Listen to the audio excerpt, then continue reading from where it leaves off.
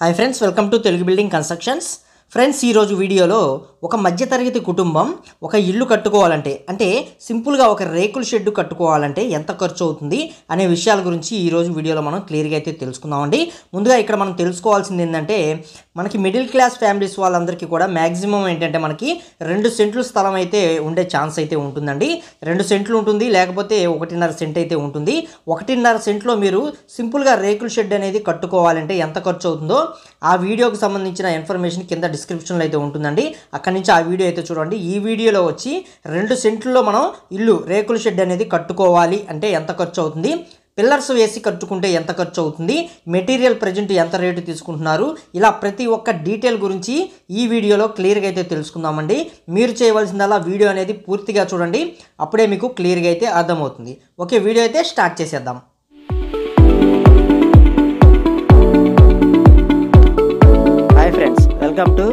Building constructions friends ముందుగా మనకి రెండు సెంట్లు. మనకి రెండు సెంట్లు అంటే ఆల్మోస్ట్ తొంభై ఆరు గజాలు అయితే వస్తుందండి.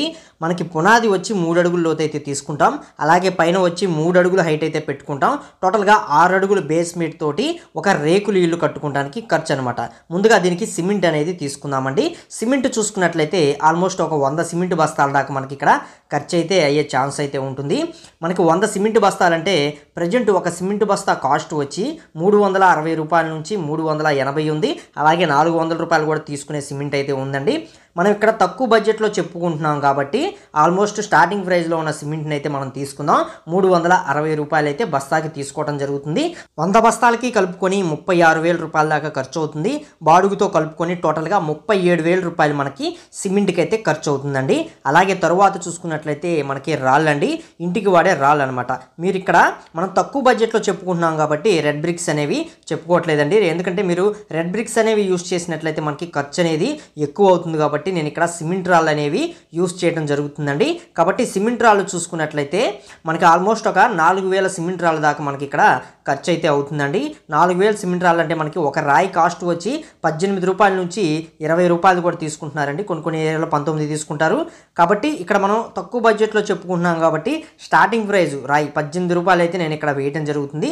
మీ ఏరియా రేట్ని బట్టి మీరు ఇక్కడ వేసుకోండి. మీకు పర్ఫెక్ట్ లెక్క అనేది వస్తుందన్నమాట. మనం పద్దెనిమిది రూపాయలు చూసుకున్నట్లయితే ఆల్మోస్ట్ నాలుగు వేల రాళ్ళకి పద్దెనిమిది రూపాయల కాడికి డెబ్బై రెండు వేల రూపాయల దాకా మనకి రాళ్ళకి ఖర్చు అనేది అవుతుందండి.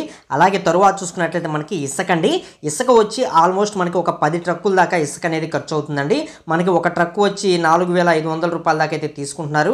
కొన్ని కొన్ని ఏరియాల్లో రేట్ అనేది ఏడు వేల రూపాయల దాకా కూడా ఒక ట్రక్కి తీసుకోవచ్చు. ట్రక్ అంటే మనకి ఇక్కడ ఒక ట్రాక్టర్ ఇసుక అయితే వస్తుందండి. టోటల్గా పది ట్రక్కులకి మనకి నాలుగు వేల ఐదు వందల కాడికి నలభై ఐదు వేల రూపాయలు అయితే అవుతుంది. అలాగే బేస్మెంట్ ఫిల్ చేసుకోవడానికి సపరేట్గా ఒక ముప్పై వేల రూపాయల ఇసుక కానీ డస్ట్ కానీ మనం యూస్ చేస్తాం. ఏది యూస్ చేసినా సరే ఒక ముప్పై వేల రూపాయలు బేస్మెంట్ ఫిల్ చేసుకోవడానికి మనకి ఇక్కడ ఖర్చు అనేది అవుతుంది. అవుతుందండి. అలాగే మనం తరువాత చూసుకున్నట్లయితే దర్వాజాలు కిటికీలు అలాగే మనకి తలుపులు డోర్స్ అనమాట ఈ మూడిటికి కలుపుకొని మనం తక్కువ బడ్జెట్లో చెప్పుకుంటున్నాం కాబట్టి ఆల్మోస్ట్ మీరేంటంటే సిమెంట్ దర్వాజాలు తీసుకోండి అలాగే సిమెంట్ కిటికీలు తీసుకోండి. మార్కెట్లో ఫ్లష్ డోర్స్ ఇవైతే యూస్ చేస్తారు. ఇవి తీసుకోండి. ఇవన్నీ తీసుకొని మనం ఈ ఇల్లు అనేది కట్టుకున్నట్లయితే టోటల్గా ఒక ముప్పై వేల రూపాయలు మనకి దర్వాజాలకు కానీ కిటికీలకు కానీ డోర్స్కి కానీ ఖర్చు అవుతుంది. లేదు మేము టేక్లో తీసుకుంటాం వేరే వేరే మెటీరియల్లో తీసుకుంటాం అంటే మీకు ఇక్కడ డబ్బులు అనేవి ఎక్స్ట్రా అయ్యే ఛాన్స్ ఉంటుందండి. మనం ఇక్కడ చెప్పుకుంటుంది మొత్తం తక్కువ బడ్జెట్లో కాబట్టి మనం తక్కువ బడ్జెట్లో ఇల్లు ఎలా పూర్తి చేసుకోవాలని చెప్పుకుంటున్నాం కాబట్టి ముప్పై వేల రూపాయల్లో మీరు సిమెంట్ యూజ్ చేసినట్లయితే మనం ఇక్కడ ఇది కట్టుకోవచ్చు అనమాట అలాగే తర్వాత చూసుకున్నట్లయితే మనకి ప్లంబింగ్ అండ్ ఎలక్ట్రిషియన్ అండి. ఈ ప్లంబింగ్కి ఎలక్ట్రిషియన్కి అలాగే ఎలక్ట్రిషియన్ సామాన్కి ప్లంబింగ్ సామాన్లకి లేబర్కి అన్నిటికీ కలుపుకొని టోటల్గా ఒక ముప్పై వేల రూపాయల దాకా మనకి ఇక్కడ ఖర్చు అయితే అవుతుందండి. రేకులు ఇంటికి అనమాట ఓకేనా? అలాగే మనకి ఈ రేకులు పైన ఏదైతే రేకులు వేస్తామో ఈ రేకులకి పైపులకి మీరు ఇక్కడ సిమెంట్ రేక్ అయినా యూస్ చేసుకోండి లేకపోతే ఐరన్ రేక్ అయినా యూస్ చేసుకోండి. రెండు యూస్ చేసిన మనకి ఇంచుమించుగా ఒక ఐదు పదివేలు డిఫరెన్స్ తోటే మనకి ఇక్కడ ఖర్చు అనేది అవుతుందండి. అంటే ఐరన్ యూస్ చేస్తే ఒక పదివేలు ఎక్స్ట్రా అవుతుంది. మామూలుగా మీరు సిమెంట్ రేకులు యూస్ చేసినట్లయితే ఒక పదివేలు అనేది మీకు అమౌంట్ అనేది తగ్గుతుందనమాట ఓకేనా? ఈ రేకులకి పైపులకి టోటల్గా చూసుకున్నట్లయితే ఒక అరవై వేల రూపాయల దాకా మనకి ఇక్కడ ఖర్చు అనేది అవుతుందండి. అలాగే మనకి నెక్స్ట్ ఇంట్లో ఫ్లోరింగ్ అనమాట మనకి ఇంట్లో ఫ్లోరింగ్ వచ్చి బండలు వేయించుకుంటాం లేకపోతే టైల్స్ అయితే వేయించుకుంటామండి. మీరు మనం తక్కువ బడ్జెట్లో చెప్పుకుంటున్నాం కాబట్టి సింపుల్గా బండలు మనకి ఫినిషింగ్ బండలు ఉంటాయి నాపరాయి బండలు. ఈ నాపరాయి బండలు వేయించుకున్నట్లయితే ఒక పదిహేను వేలల్లో మీరు కంప్లీట్ చేసుకోవచ్చు అనమాట లేదు మేము టైల్స్ వేయించుకుంటామంటారా? మీకు ఇరవై ఐదు వేల రూపాయల దాకా ఖర్చు అనేది అవుతుంది ఇక్కడ. నేను వచ్చి బండలకైతే తక్కువలో చెప్పుకుంటున్నాం కాబట్టి నాపరాయి బండలకైతే నేను ఇక్కడ కాస్ట్ అనేది వేయటం జరుగుతుంది కాబట్టి పదిహేను వేల రూపాయలు బండలకి కేటాయించామండి. అలాగే మనం తర్వాత చూసుకున్నట్లయితే ఇంటి లోపల సీలింగ్ అండి. ఈ సీలింగ్ వచ్చి చాలామంది మనకి రేకుల షెట్లు కట్టుకున్న వాళ్ళు ఏంటంటే తరువాత ఇంట్లో బాగా విపరీతంగా వేడిగా ఉంటుందండి. మేము సీలింగ్ చేయించుకోవాలనుకుంటున్నాం ధర్మాకోల్ చేయించుకోవాలా లేకపోతే పీఓపి చేయించుకోవాలా జిప్సం చేయించుకోవాలా ఇలా చాలామంది అయితే డౌట్స్ పడి అడుగుతూ ఉంటారండి. మీరు ఇక్కడ సీలింగ్కి కూడా నేను అమౌంట్ అనేది ఇక్కడ కేటాయించడం జరుగుతుంది. సింపుల్గా మనకి రేకుల షెడ్కి ఏంటంటే ధర్మాకోల్ సీలింగ్ అనేది చేయించుకోవడం బెటర్ అండి. ఎందుకంటే పీఓపి కానీ జిప్సం కానీ చేయించుకుంటే మనం ఇక్కడ వేస్తుంది రేకులు అండి ఈ రేకుల్లో ఏదైనా చిన్న లీక్ ఉన్నా సరే పీఓపీ కానీ జిప్సం కానీ మనకి ఇక్కడ పాడైపోయే ఛాన్స్ ఉంటుంది కాబట్టి మీరు ధర్మాకోల్ షీట్స్ అనేవి వేయించుకున్నట్లయితే సీలింగ్కి మనకి ఇక్కడ ప్రాబ్లం అనేది ఉండదండి. ఎక్కడ వాటర్ లీకేజ్ ప్రాబ్లం వచ్చినా మనం ఇక్కడ యూస్ చేస్తుంది ధర్మాకోల్ షీట్స్ కాబట్టి మనకు ఆ ప్రాబ్లం అనేది ఉండదు. సింపుల్గా మనం దీనికి ధర్మాకోల్ షీలింగ్ అనేది యూస్ చేసినట్లయితే ఒక పదివేల రూపాయలు అయితే సీలింగ్కి ఖర్చు అవుతుందండి. లేదు మేము పీఓపీ వేయించుకుంటాం అన్నట్లయితే మీకు ఇక్కడ ఆల్మోస్ట్ ఒక ముప్పై వేల రూపాయల దాకా ఖర్చు అవుతుంది. మనం ఇక్కడ చెప్పుకుంటుంది తక్కువ బడ్జెట్లో కాబట్టి నేను ఇక్కడ పదివేల వేల రూపాయలు అనేది తీసుకున్నానండి సీలింగ్కి. అలాగే మనకి నెక్స్ట్ సెల్ఫ్లు అండి మనకి ఇంట్లో సెల్ఫ్లు అనేవి పోయించుకుంటాం. ఇవి వచ్చి సిమెంట్తో పోయించుకుంటే ఆల్మోస్ట్ మీకు ముప్పై వేలు నలభై వేల రూపాయల దాకా అయితే ఖర్చు అనేది అవుతుందండి. మనం ఏంటంటే సింపుల్గా నాపరాయి బండలు ఉంటాయి. అటువైపు ఇటువైపు మనం గోడ కట్టుకొని వాటి మీద నాపరాయి బండలు పేర్చుకొని షెల్ఫ్లు అనేవి చేయించుకుంటామండి. అలా షెల్ఫ్లు అనేవి మీరు చేయించుకున్నట్లయితే ఆల్మోస్ట్ ఒక పదివేల రూపాయల్లో మీరు ఇక్కడ షెల్ఫ్లు అనేవి షెల్ఫ్లకి అయితే ఖర్చు అవుతుందండి లేదు మేము క్వాలిటీగా పోయించుకుంటాం సిమెంట్తో పోయించుకుంటాం అంటారా? మీకు ఇక్కడ వచ్చి ఆల్మోస్ట్ ఒక ముప్పై నలభై వేల రూపాయల దాకా సెల్ఫ్లకు కూడా ఖర్చు అనేది అవుతుంది. మనం తక్కువ బడ్జెట్లో చూస్తున్నాం కాబట్టి నాపరాయి బండలతో సెల్ఫ్లు అనేవి పోయించుకోండి. ఆల్మోస్ట్ ఒక పదివేల రూపాయల్లో మీరు ఇక్కడ ఖర్చు అయితే అవుతుంది. నెక్స్ట్ అలాగే చూసుకున్నట్లయితే పెయింట్ ఖర్చు అండి ఈ ఇంటికి మనకి పుట్టి పెట్టినా ఏం పెట్టినా మనం టోటల్గా పెయింట్ ఖర్చు వచ్చి ఆల్మోస్ట్ మెటీరియల్కి కానీ లేబర్కి కానీ అన్నిటికీ కలుపుకొని ఒక ముప్పై వేల రూపాయల దాకా మనకి ఇక్కడ ఖర్చు అయితే అవుతుందండి. అలాగే మనం తరువాత చూసుకున్నట్లయితే మేస్త్రి లేబర్ అండి. ఈ మేస్త్రికి లేబర్ వచ్చి ఆల్మోస్ట్ ఒక లక్ష ముప్పై వేల రూపాయల నుంచి ఒక లక్ష యాభై వేల రూపాయల దాకా అయితే తీసుకునే ఛాన్స్ అయితే ఉంటుందండి.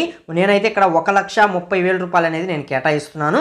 ఒక లక్ష ముప్పై వేల రూపాయలు అనేది తీసుకొని ఈ రేకుల షెడ్ అనేది మనకి పూర్తి చేసి ఇస్తే మనకి టోటల్గా ఎంత ఖర్చు అవుతుంది అని చూసుకున్నట్లయితే ఒకసారి ఇక్కడ అన్ని మెటీరియల్ కలిపి నేను ఇప్పుడు దాకా చెప్పిన అమౌంట్ మొత్తం మీరు ప్లస్ చేసుకుంటా వస్తే మనకి ఫైనల్గా వచ్చే రేటు వచ్చి నాలుగు లక్షల తొంభై తొమ్మిది వేల తొమ్మిది వందల రూపాయల దాకా మనకి ఇక్కడ ఖర్చు అనేది అయితే వస్తుందండి.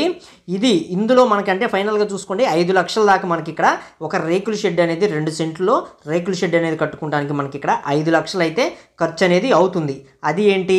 పిల్లర్స్ లేకుండా మనకి బీమ్స్ ఇవి వేసుకోకుండా సింపుల్గా మనం ఇల్లు కట్టుకున్నట్లయితే అదే మీరు ఇక్కడ పిల్లర్స్ వేసి బీమ్స్ వేసి ఇల్లు కట్టుకోవాలి అన్నట్లయితే మీకు ఇక్కడ ఒక లక్ష రూపాయలు అనేది ఎక్స్ట్రా అయ్యే అవకాశం అయితే ఉంటుందండి.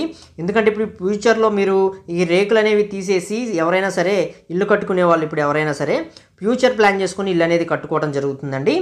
ఏంటంటే కింద పిల్లర్స్ అనేవి వేసుకో పుట్టింగ్స్ వేసుకొని పిల్లర్స్ వేసుకొని బీమ్ వేసుకొని అలాగే మనకి పై లెవెల్ దాకా తీసుకెళ్ళి అక్కడతో మనకి అక్కడి నుంచి రేకులు అనేది వేసి వేసుకుంటున్నారండి. ఫ్యూచర్లో ఏంటంటే ఈ రేకులు అనేవి తీసేసి ఈ పిల్లర్స్ అనేవి కొంచెం ఒక అడుగు రెండు అడుగులు రేస్ చేసుకొని స్లాబ్ వేసుకునేటట్లు ప్లాన్ అయితే చేసుకుంటున్నారు. ఎవరైనా కూడా అలాగే చేసుకుంటారు. ఆ, ఆ విధంగా చేసుకున్నట్లయితే ఆల్మోస్ట్ మీకు ఇక్కడ ఆరు లక్షల దాకా ఖర్చు అనేది అవుతుందండి పిల్లర్స్ వేసుకున్నట్లయితే. అవేమీ లేకుండా కొంతమంది ఏంటంటే అమౌంట్ లేక వాళ్ళ దగ్గర బడ్జెట్ అనేది లేక సింపుల్గా తక్కువ బడ్జెట్లో ఒక రేకుల షెడ్ ప్రజెంట్ కట్టుకొని మనం ఒక ఐదేళ్ళు ఉన్నాయి పదేళ్ళు ఉన్నాయి సరే ఆ ఇంట్లో ఉందాం అనుకుని వాళ్ళు ఏంటంటే సింపుల్గా వాళ్ళు ఇల్లు కట్టుకోవాలంటే ఒక ఐదు లక్షలు అయితే వాళ్ళకి ఖర్చు అనేది అవుతుంది టోటల్గా. అంటే ఫ్యూచర్ గురించి ఆలోచించి వాళ్ళు ఫ్యూచర్లో స్లాబ్ అనేది వేసుకునే పని అయితే వాళ్ళు పిల్లర్స్ ఇవన్నీ వేసుకుంటారు వాళ్ళకి ఆల్మోస్ట్గా ఒక ఆరు లక్షల దాకా మనకి ఇక్కడ బడ్జెట్ అనేది అవుతుంది. టోటల్గా ఇదండి మనం తక్కువ తక్కువ బడ్జెట్లో ఇల్లు కట్టుకునే ప్రాసెస్ అయితే ఇదే విధంగా అయితే ఉంటుందండి. ఈ రేట్లన్నీ కూడా మనకి ఏరియాని బట్టి కొంచెం మారే అవకాశం ఉంటుంది కాబట్టి ఇది ఒక్కటి మీరు గమనించుకోండి. ఈ వీడియో చూసిన చాలామంది బోర్ గురించి చెప్పలేదేంటనా అని చెప్పి మళ్ళీ కొంతమంది కామెంట్స్ అయితే చేస్తారండి. బోర్ ఏంటంటే మనకి ఇప్పుడు మా ఏరియాలో చూసుకున్నట్లయితే బోర్కి ఒక పదివేల కన్నా ఎక్కువ అవుదండి. అంటే మాకు ఇక్కడ పదిహేను అడుగులు తీయగానే మాకు వాటర్ అనేది పడుతుంది. అదే కొన్ని ఏరియాల్లో వచ్చి రెండు వందల అడుగులు మూడు వందల అడుగులు తీసినా కూడా మీకు అక్కడ వాటర్ అనేవి పడవండి. వాళ్ళకి బోర్ బోర్లు వేయించుకోవాలంటే ఆల్మోస్ట్ ఎనభై వేలు అయితే ఖర్చు అవుతుంది కానీ మాకైతే ఆ ప్రాబ్లం లేదు. మాకు ఒక పదివేలు ఖర్చు పెట్టుకుంటే నెంబర్ వన్ బోర్ అయితే మాకు ఇక్కడ పడుతుంది. అందుకని చెప్పి నేను బోర్ గురించి అయితే నేను ఇక్కడ కాస్ట్ మీకు ఇక్కడ యాడ్ చేయలేదండి. మీ ఏరియాలో బోర్కి ఎంత తీసుకుంటున్నారో ఆ ఏ- ఆ అమౌంట్ని బట్టి మీరు క్యాలిక్యులేషన్ అనేది వేసుకోండి. మీకు క్లియర్ లెక్క అయితే వస్తుంది. అలాగే మీరు సెంటున్నరలో అంటే డెబ్బై రెండు గజాల్లో ఇల్లు కట్టుకోవాలంటే కింద డిస్క్రిప్షన్లో లింక్ అయితే ఉంటుందండి. అక్కడి నుంచి ఆ వీడియో అనేది చూడండి. సేమ్ అది కూడా రేకుల షెడ్ గురించే చెప్పడం జరిగింది. ఈ వీడియో వచ్చి రెండు సెంట్లలో ఇల్లు కట్టుకుంటే అయ్యే బడ్జెట్ అనమాట టోటల్గా ఇదండి. సో చూస్తున్నారుగా ఫ్రెండ్స్ మా వీడియోస్ కనుక మీకు నచ్చితే లైక్ చేయండి షేర్ చేయండి అలాగే మా ఛానల్ మటుకి సబ్స్క్రైబ్ చేసుకోండి ఫ్రెండ్స్. ఇంకా మీకు ఎలాంటి వీడియోస్ కావాలో ఏంటో కింద కామెంట్ సెక్షన్లో కామెంట్ చేయండి. మేము తప్పకుండా చేయడానికి అయితే మటుకి ప్రయత్నిస్తాం అనమాట okay thank you for watching guys